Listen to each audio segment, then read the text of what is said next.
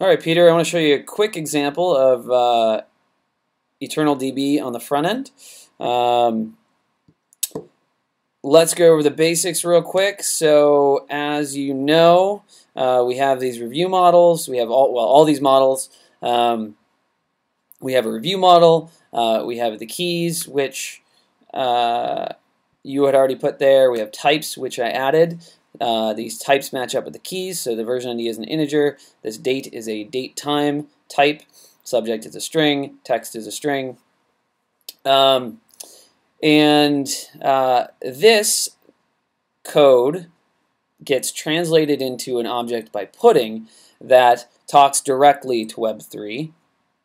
Um, what EternalJS does is then take th take that, uh, I guess, riff on it um, and create a new class that represents what each of the um, that represents items that are within the model. So, for instance, a, a review model, excuse me, would represent reviews. So you have multiple reviews. The review model holds multiple reviews. So um, on the front end, then we can go like this. This is just the dApp Store front end. I'm just going to show you this example via the console because it's the easiest way for now. But let's uh, define some attributes. So um, with uh, the review, it needs a version ID, it needs a date, and actually for to make this nice, I have it like that. So we'll just actually have it use a real date object uh, in JavaScript, subject, and some text. So great. What we're going to do next is actually create this review. So um, again, review model tran translates to review, and then there's this create method. So create passing uh, these attributes. And that's going to get passed down to your code, and if everything goes right, it's going to return an object. And I'm, right now, I'm just uh, I'm just printing that object. Um, and if it errors, we'll, we'll see the error. So let's go ahead and do that. So what happens, it does its thing. This is a promise. Create returns a promise. Uh, don't worry about this. This is um, the console logging stuff. But this is this console log right here. And uh, we get our model back. Notice I've already created more than one. It's a, it's a review, and it has attributes, and it has these attributes that we talked about. Now, the uh, the way this works is that this doesn't look like Web3 at all. It, or sorry, it doesn't look like the blockchain at all. You're interacting with an actual date object. You're inter interacting with a subject, or a string, another string, an, an integer. The, uh, it doesn't. It may not look like it, but that actually, by passing these attributes in, it went to the blockchain, saved that data, and then came out with this new object that represents that um, uh, that represents that um, review. So what I'm going to do to kind of uh, hit this point home is I'm going to completely refresh the page, which means uh, that thing in memory doesn't you know doesn't exist anymore. So I can't just access that data. The attributes, you know, I, that doesn't actually exist. Um, as an object anyway right now.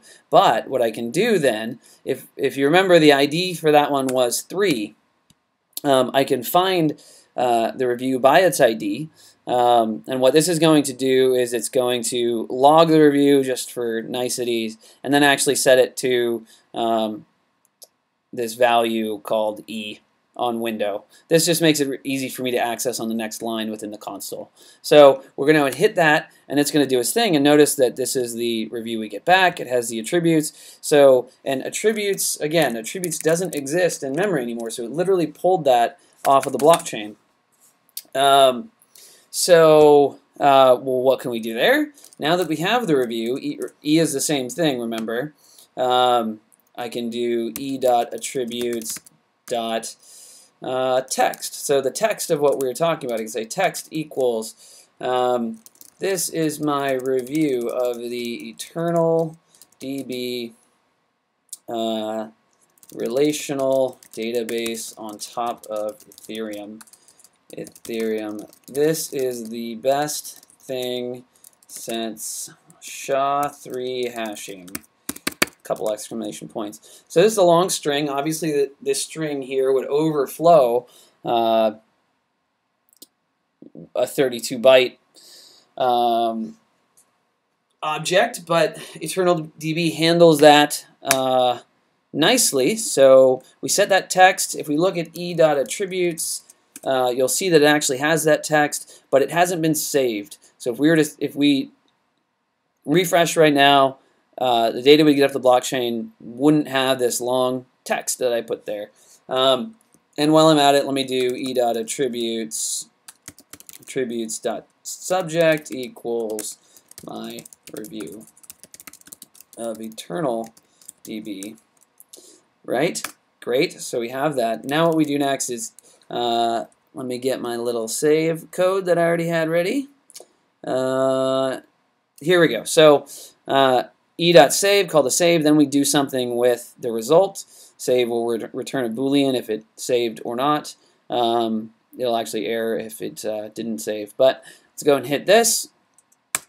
e.save. Well, it's the first time I've had that issue. New big number is not a number. Alright, so it looks like I wasn't saving the uh, arrays to eternal DB correctly. So when there was a long string, it didn't parse it uh, as it should have. But uh, now I'm going to do this again. So we go. Um, let's let's start this over just to make sure we know everything that's there. So create a new review. What did I do? Oh, attributes. Right. Uh, create a new review. Great. Printed out a lot of stuff. I can ignore that. Got an ID of four. Cool. I'll do a refresh. We'll go ahead and pull four, which is here. ID of four. Great. And then I can say this review.